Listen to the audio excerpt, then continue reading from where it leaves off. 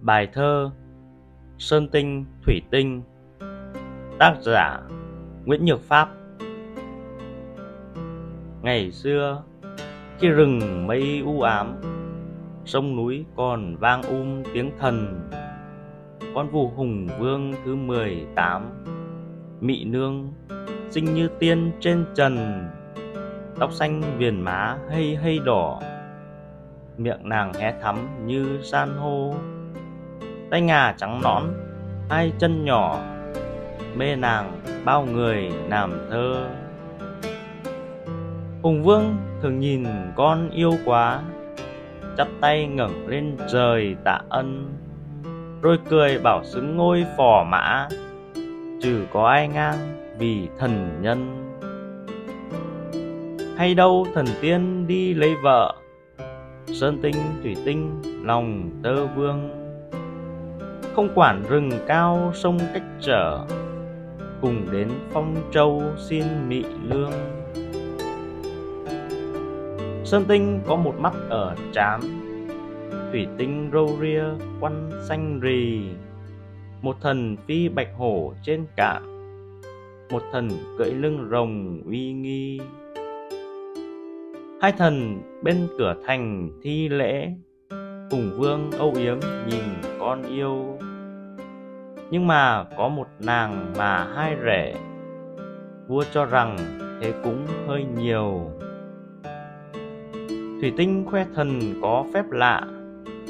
Dứt lời, tay hất chòm râu xanh. Bắt quyết, hò mây to nước cả.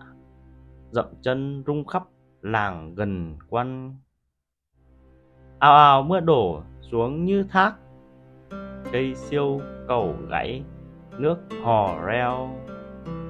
Lăn quấn gầm lay, tung sóng bạc, bò lợn và cột nhà trôi theo. Mỹ lương ôm hùng vương kinh hãi. Sơn tinh cười, xin nàng đừng lo, vung tay niệm chú, núi từng dải nhà lớn đồi con lổm cổ bò chạy mưa, vua tùy con kén chọn. Mỹ nương khép nép như cành hoa. Con đây phận đào tơ bé mọn, nhân duyên quý để quyền mẹ cha. Vua nghĩ lâu hơn bàn việc nước, rồi bảo mai nửa hồng nhuốm xương. Lễ vật thần nào mang đến trước, vui lòng vua gả nàng mỹ nương bình minh mà ửng đào phơn phớt. Ngọc đỏ rung trên đầu lá xanh, ngọn liễu chim vàng ca thánh thót ngự giá hùng vương lên mặt thành. Mị lương bên lầu son tựa cửa, rèm ngọc lơ thơ phủ áo hồng. Cánh nhạn long lanh vờn ánh lửa, mê nàng tim ngật lưng rời đông rừng xanh thả mây đào man mác. Sơn tinh ngồi bạch hổ đi đầu. Minh phủ áo bào hồng ngọc giác tay ghi cương hổ, tay cầm lau. Theo sau năm chục con voi xám. Phục hặc lưng cong phủ gấm điều. Tải bạc, kim cương vàng lấp lánh. Sừng tê, ngà voi và sừng hưu hùng vương trên mặt thành niễu rủ, hớn hở thần trông thoáng nụ cười. Thần suốt đêm sao dài không ngủ, mày ngài mắt phượng vẫn còn tươi. Sơn tinh đến nạy chào bên cửa, vua ngự thân đón nàng mỹ nương. Đầu son nàng ngoái trông lần nữa đi xanh lệ ngọc mờ hơi sương quỳ lạy cha già lên kiệu bạc thương người, thương cảnh, xót lòng đau. Nhìn quanh khói tỏa buồn man mác. Nàng kêu, phụ vương ơi phong châu kiệu nhỏ đưa nàng đi thoăn thoắt hùng vương mơ bị tay bờ thành.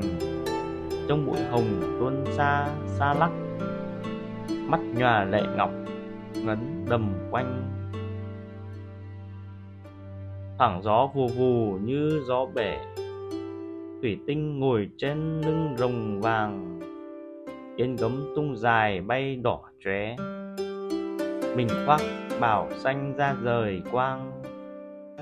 Theo sau cua đỏ và tôm cá, chia đội 50 hòm ngọc trai. Khập khẽnh bò lê trên đất lạ trước thành tấp tả, đi hàng hai. Hùng vương mặt rồng trâu ủ rũ, chân trời còn phảng phất bóng người yêu. Thủy tinh thúc rồng đau kêu rú, vừa uất vì thương, vừa bởi kiêu. Có hết gân nghiến răng thần quát giết giết sơn tinh hạ hờn ta. Tức thời nước rụt sủi reo như thác.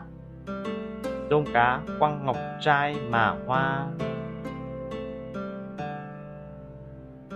Sơn tinh đang kèm sau theo kiểu áo bào vỡ phất, nụ cười bay. Vui nhỉ, mê ai sinh mới hiểu. Thần trong tượng nhỏ, hồn thêm say. Choàng nghe sóng vỗ, reo như sấm bạch hổ dừng chân, nùi bạch tai mị nương tung bức rèm đỏ thắm. Sơn tinh trông thấy càng dương ngoai sóng cả gầm reo răn như chớp. Thủy tinh cưỡi nưng rồng hung hăng. Cá voi quác mồm to muốn đớp. Cá mập quẫy đuôi cuồng nhe răng. Càng cua lởm chởm dơ như mát tôm cành chạy quắp đuôi xôn xao. Sơn tinh hiểu thần ghen, tức khắc niệm chú, đất nảy gù lên cao. Hoa tay thần vẫy, hùm voi báo, đuôi quắp nhe nanh, dơ vuốt đồng. Đạp nong đất núi, gầm sông sáo, máu vọt phì reo muôn ngấn hồng. Mây đen hăm hở bay mù mịt, sấm rang chất động nổ rè xanh. Tôm cá xưa nay im thin thít, mở quác mồm to kêu thất thanh. Mị nương kinh hãi ngồi trong kiệu, bỗng chợt nàng kêu mắt nệ nhòa. Giọng kêu hay buồn không ai hiểu, nhưng thật dễ thương. Ô vì ta. Thủy tinh năm năm dâng nước bể, đục núi hò reo đòi mị lương. Trần gian đâu có người dai thế, cũng bởi thần yêu nên khác thường.